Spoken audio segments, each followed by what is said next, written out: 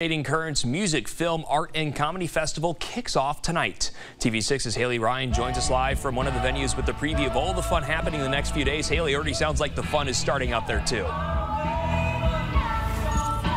Hi, Will. I'm at Schwiebert Park in Rock Island, and as you can hear behind me, a band has already started performing.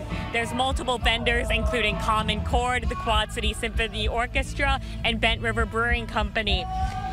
Um, this is the Arts and Cultural Festival celebration. This is all part of the Alternating Currents Festival, which goes through Sunday.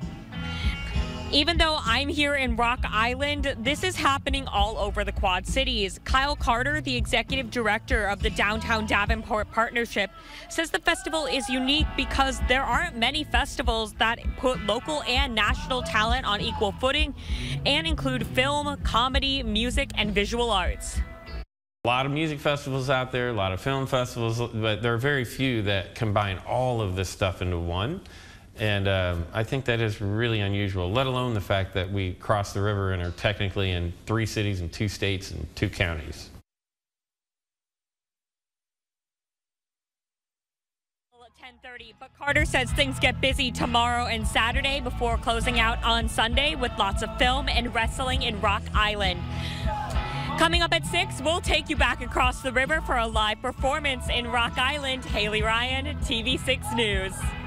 Looking like a lot of fun out there. Haley, thank you. And you can learn more about alternating currents by visiting our website, kwqc.com, or by watching QCL tomorrow.